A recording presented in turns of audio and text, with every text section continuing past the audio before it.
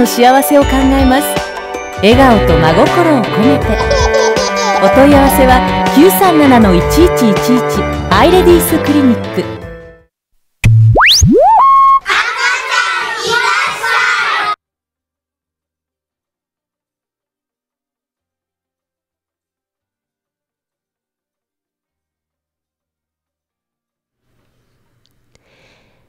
アイレディースクリニック赤ちゃんいらっしゃい命の誕生第23回赤ちゃんいらっしゃい命の誕生この時間は沖縄市三郷にあります産婦人科アイレディースクリニック提供のもとお産の素晴らしさをお届けしていく番組です。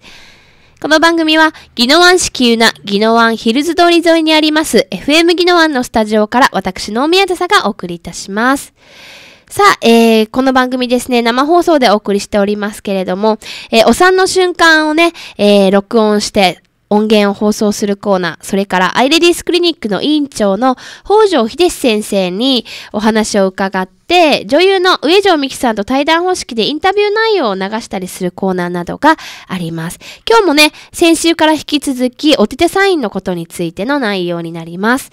そして、え番組の後半では、えお母さんたちに役立つ児童館のイベント情報、それからプレママ、プレパパを応援する妊娠、出産、育児の疑問に答える応援団のコーナーなどがあります。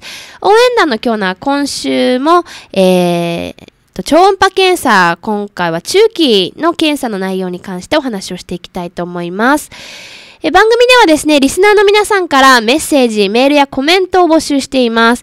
メールアドレスは 797-fm ギノワン .com 797-fm ギノワン .com に、えーメッセージを送ってください。えまた、FM ギノワンでは Ustream で映像と音声をネットで配信しています。こちらはですね、FM ギノワンのホームページから簡単に見ることができますので、えぜひ参加していただきたいと思います。さあ、ということで、えこのコーナーに行きましょう。赤ちゃんいらっしゃい、命の誕生。この時間は沖縄市三郷にありますアイレディースクリニック協力のもと、お産の瞬間を録音して放送するコーナーです。命の誕生の瞬間はとても感動的ですよね。お産がもっと身近なものになればと思い、アイレディスクリニックのスタッフさんが録音してくれた音源を放送しています。今日は3人のお産の瞬間を放送します。まず1人目、匿名希望さん、女の子のお母さんです。無事に出産してスタッフさんのお祝いの声が溢れます。赤ちゃんが元気な声で泣いてくれました。コメントはママとお兄ちゃんです。お兄ちゃんのコメントが可愛らしくとても印象的です。それではお聞きください。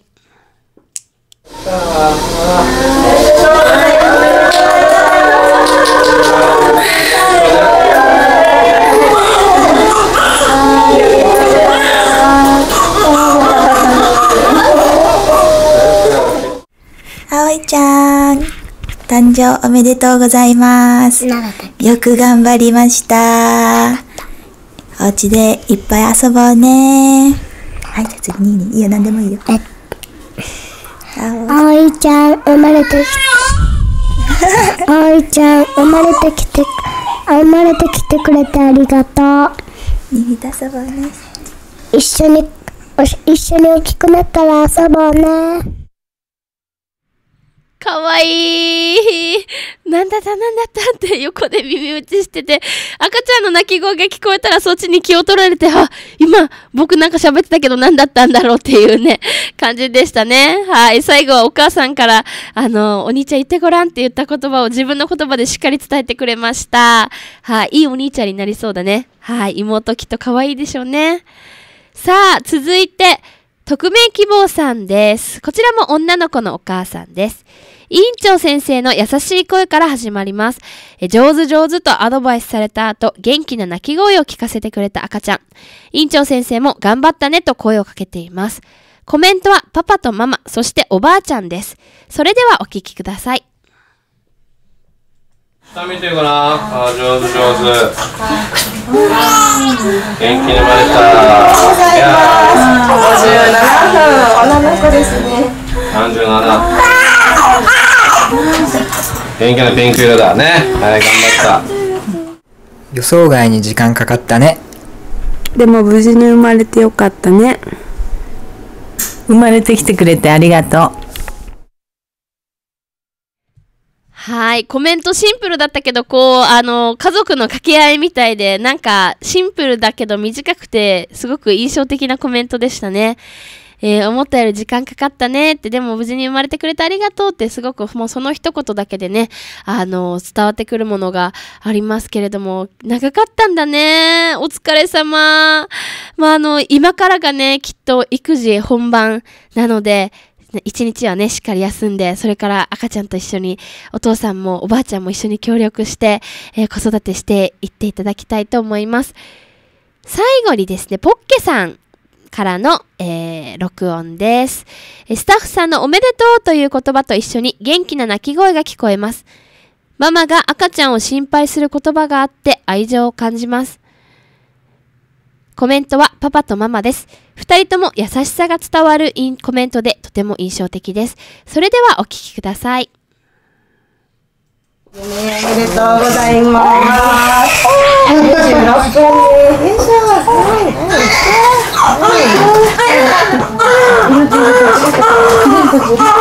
26分頑張って。ね。よいしょ。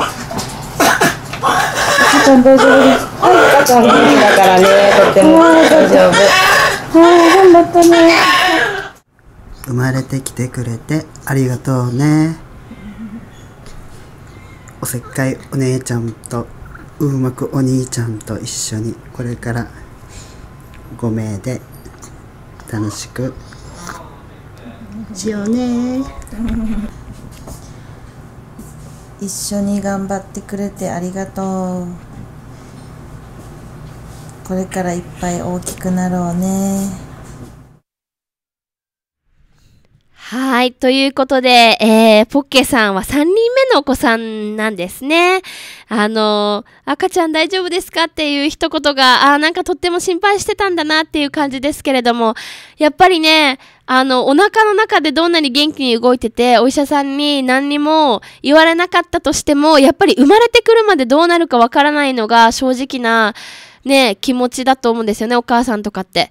泣き声が聞こえて、実際に本当に顔を見て安心するところもきっとあるので、そういう言葉が出てきたんだろうなって思いますね。はい。えー、3人目のお子さんということで、お兄ちゃんお姉ちゃんに囲まれて、たくましく元気にね、育っていってほしいなと思います。はい。ということで今日は3名、3人ですね。匿名希望さん、えー、匿名希望さん2人目、両方とも女の子のお母さんでした。そして最後にポッケさんの、えー録音、音源を放送いたしました。お母さんの幸せ、それは家族の幸せ。アイレディスクリニック。アイレディスクリニックでは、これからもお母さんの幸せを一番に考えた出産を行います。このコーナーでは皆さんのお産に関する思い出、また出産を控えるお母さんに対するメッセージをお待ちしています。宛先は 797-fm ギノワン .com 797-fm ギノワン .com へ送ってください。それでは次は CM を挟んで教えて北条先生のコーナーです。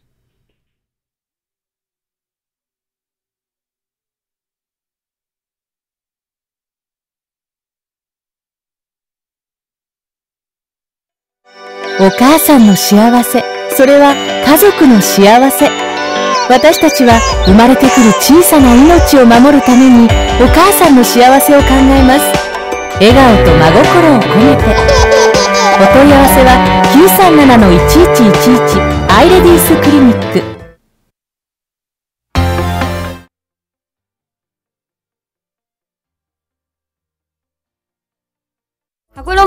の中地早美です。青間愛です。川光ひろみです。天満英語通り沿いにある FM ギノワン。中に入ると目の前に広がる大きな海。夜は夜景も綺麗。私たちも番組持っちゃう？いいね !79.7MHz FM ギノワン。皆さん聞いてくださ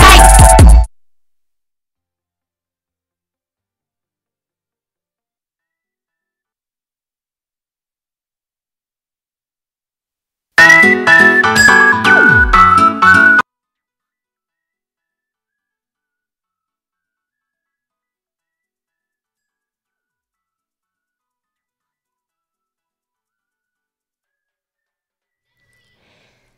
教えて北条先生のコーナーです。このコーナーでは、アイレディスクリニックの委員長、北条秀先生にお産についてお話を伺い、沖縄で活躍している女優の上条美希さんとの対談方式でインタビュー内容を毎週流していくコーナーです。月に1回収録した内容を全部で4回に分けて放送しています。さあ、先週は県内初となるおててサイン講師の2人に、えーおててサインとは何かとか、おててサインの講師になったきっかけとかをお伺いしましたが、今回はですね、おててサインについて北条先生本人にお伺いしました。それではお聞きください。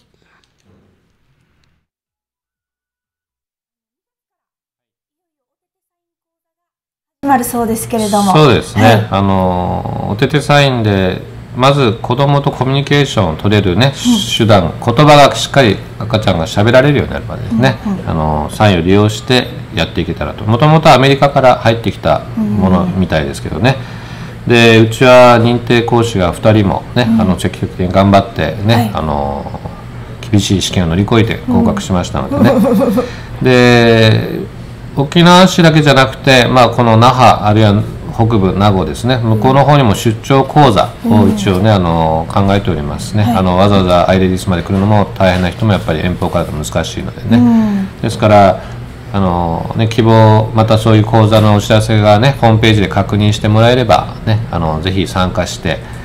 で、まあ、まずはお母さんだけじゃなくてこれはお父さんも一緒に参加してもらってもいいと思いますね。一言「あーう」って喋られるように一言二言喋られるようになった子供さんと、ね、そこでこのサインをうまく混ぜることによって、ね、赤ちゃんの気持ちを理解して、ね、そして、えーコミュニケーションがうまくいくと、ね、これは親子関係がスムーズにいきますからね。うん。よくあるのはねいつまで泣いてんなんで泣いてんの分かんないってこうねガーってなお母さんがねもう我慢でき管理のを切れて、ね子供にねちょっとこう手がかかったりね、うん、あのお父さんもそうだけどねそうならないように、ねあのまずは妊娠中から早く勉強したいというねやっぱり今うちに来てる妊婦さんのお父さんもいますしね、あの妊娠中からもう勉強する人、ね、あるいは実際生まれて0歳1歳ぐらいの子ね連れてきて、一緒にコミュニケーションをとって子供に覚えさせるというね、あのいろんなやり方えー年齢によってやり方ありますけどね、あの決してやあのこれを勉強してね損はないと思いますのでね、あの幸せな家族を作るためにお母さんが幸せになることが幸せな家族を作ることっていうのがうちのね理念のようにぜひお母さんが勉強してね。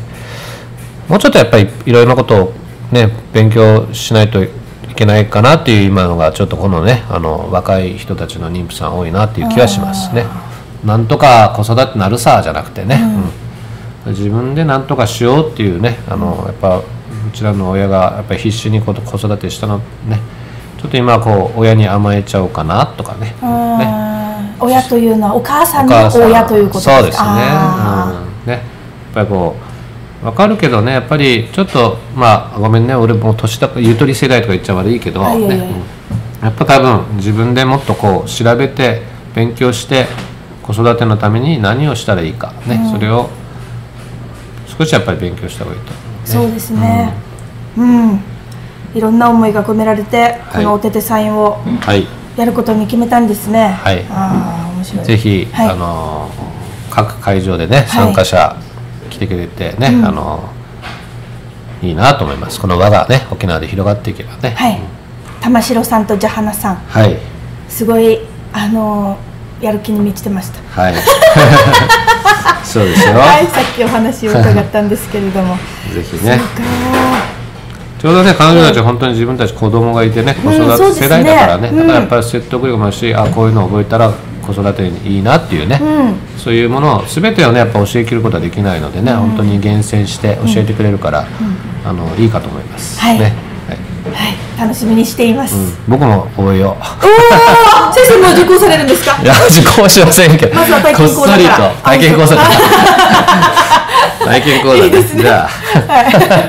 まずは体験講座から、結構 ですね、はい。よろしくお願いします。はい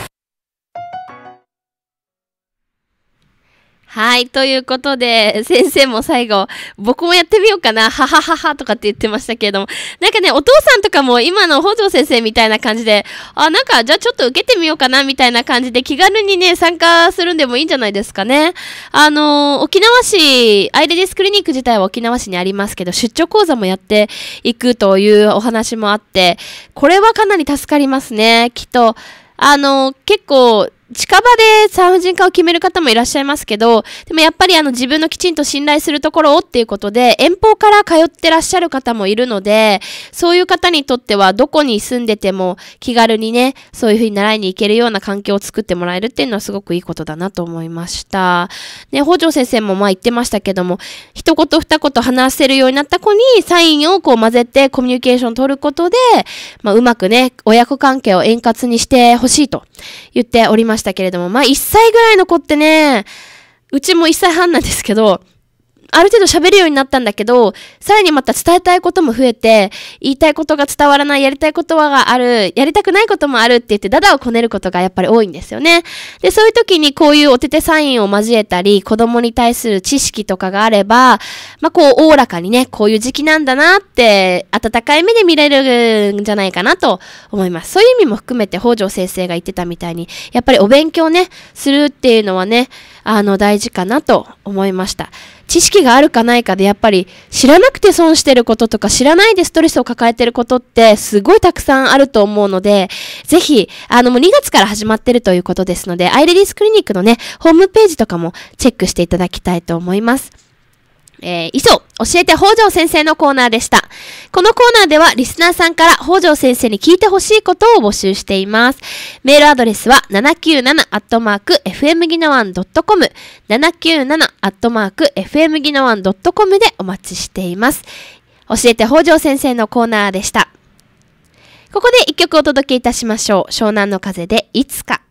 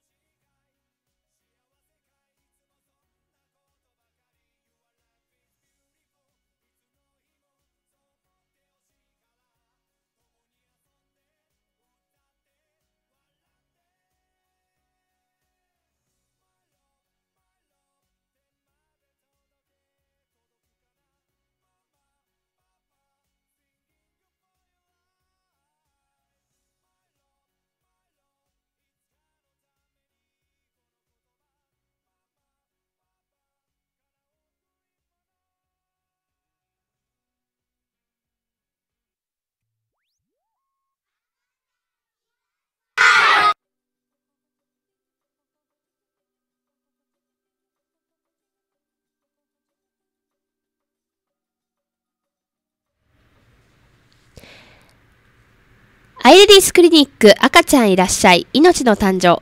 この番組は沖縄市三里にあります産婦人科アイレディスクリニック提供のもとお産の素晴らしさをお届けしていく番組です。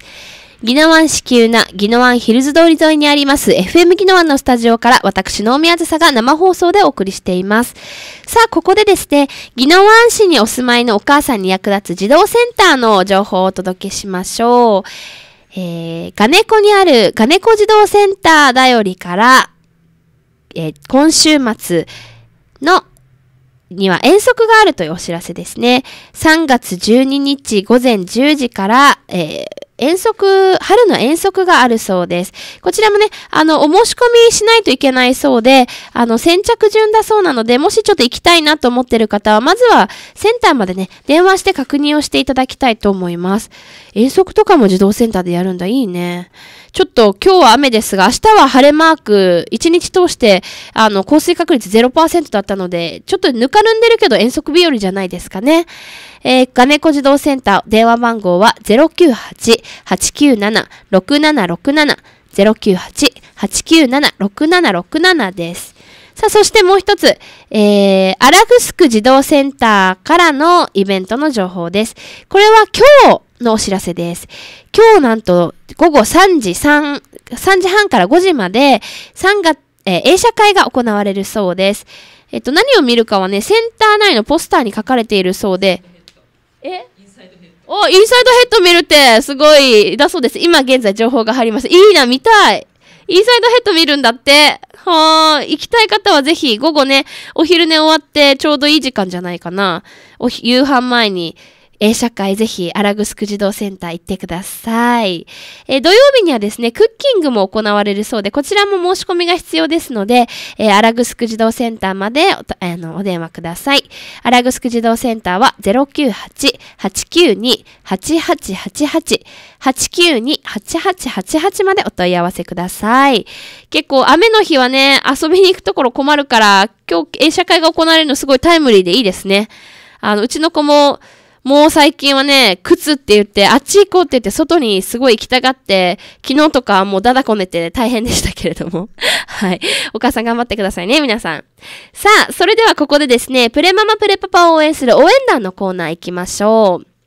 えー、ずっとね、何週間にわたって、えー、超音波検査の話をしてましたけれども、先週は、中期の超音波検査、20週、28週、34週に超音波検査をするのが推奨されていて、まあ、何を調べているのかというお話でしたけれども、えー、妊娠後期、中期ですね、後半に差し掛かる34週前後に、えー、一体何を検査するのかというとですね、大体この頃、子供の体重は2キロぐらいに達するんですね。でも主要な動きが主要な臓器はね、全部できてるので、子供が外に出た時に、えー、なんだろう、外に出た世界で呼吸ができるかとか、ちゃんと生きていけるかどうかっていうのを確認するのが34週の検査ですよというお話をしました。で、これ推奨されてるのが34週頃までということなんですが、じゃあ34週以降は超音波検査を受けなくてもいいのかということですが、えこれはまた別の、ここから先はね、別の目的があります。え万が一ね、出産予定日より早く生まれても、34週以降、正規産っていうのは37週からなので、ちょっとまだ早いんですけど、だいたいこの時期になってくると、心臓とか肺の働きもね、成熟していくので、胎児自体自身は、そういう意味ではある一定レベルはクリアしたということで、心配する必要はまあないそうです。早めに生まれてもね、最近はあの結構病院の施設も整っていますので、で、この後はですね、胎盤とか最体、えー、羊水の量、あとは子宮経管とかにトラブルが起こることがあります。そうすると、この後のね、胎児の発育とか妊娠継続に問題が出ることがあるので、まだまだお腹で育てて大丈夫かとか、そういうことを34週以降は、えー、見たりするそうです。